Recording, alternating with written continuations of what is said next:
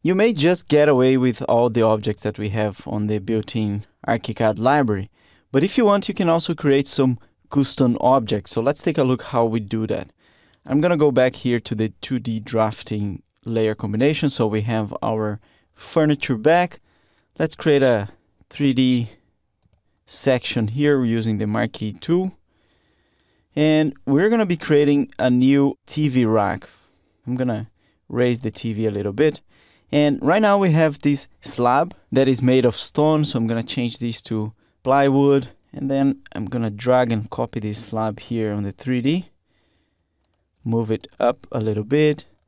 Let's do a wall, generic, also made of plywood, 40 millimeters thick. But before doing the wall, let's move it away from the building wall a little bit. So let's move it like 5 centimeters on both sides. Now we can do the wall and I'm gonna flip the wall, move it down, and then I'm gonna make multiple copies here. And then finally, let's create a wall here on the front and move that back a little bit. Good, so let's say this is my TV rack. I'm going to select it all, select all the objects from this TV rack. We can do this in the floor plan or in the 3D. I'm just going to go ahead and do it from here. And then you go to File, Library and Objects, and then Save Selection as an object. We have some other options here, but right now we want to do an object. So I'm going to go click on Object. ArchiCAD is going to warn us that the top view of the object is what is going to become the symbol of the object. Just go ahead and press OK. Then let's save this with the name TV Rack. Hit Save. ArchiCAD is showing us all the building materials that we have on those elements. I don't know why we have two surfaces here, so I'm going to make sure they are both the same and then press OK. Now I'm going to group these objects so it's easier to select later and go back to our floor plan change it again to the 2D drafting and this is not our object. Those are actually the elements that we just created. And then if we go to our objects library on the embedded we should have the TV rack with a 2D symbol how it looks in elevations and 3D and we can also change here some attributes like the fills the lines and the surface of this object. So let's press OK and add this object here to the plan I'm to rotate and position it to the correct place.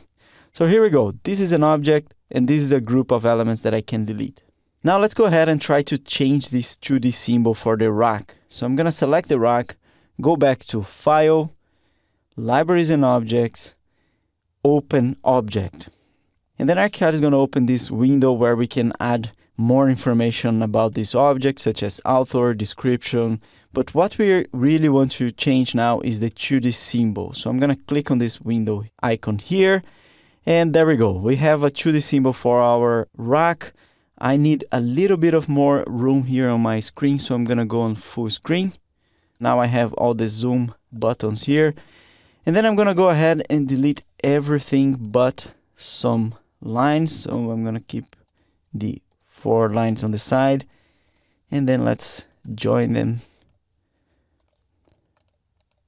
here. And let's join here. And this is the 2D symbol that I want. So I can close this, close the TV rack. ArchiCAD is going to say, do you want to save the changes? Yes, we do. And then here, let's bring back the furniture layer again. And our object has a much better looking 2D symbol. I want to show you another example here. I'm going to create a new slab, generic, also plywood. Let's make it 40 and it will be about 2100 by 800 roughly the size of a door leaf let's offset this slab copying so I'm gonna make it 50 and I will remove that inner part. I'm using the magic wand. And this one I want it to be made of glass. A little bit thinner. Let's make it 10. Let's see in 3D how it looks. There we go. So you get the idea. You can keep on going here modeling a better looking door leaf, but that should do the job. So here in floor plan, I have those two panels selected, and then I'm gonna go back to File, Libraries and Object, Save Selection As, and then I'm gonna choose the option Door Leaf. ArchiCAD is gonna ask me what's the name of this door leaf, so I'm gonna name it Door Leaf 1 Test. Hit Save, and then ArchiCAD is telling us the door leaf is now available on the door settings. So let's go to any door here. I'm gonna go to this laundry door, go to the settings. Let's look for the door leaf options. There we go. And then if we scroll down here, we should have an option for custom door. If I click on this, we have here our door leaf one test. If we have more options for door leaf, we should have a list here, but right now we just have one. So let's go and hit OK. And let's see this door in 3D. We should be able to have our custom door leaf applied. So go ahead, create the door leaves that you may need, and remember that you can create some other custom objects such as the door leaves, some windows panels, some wardrobe doors. So feel free to explore a little bit.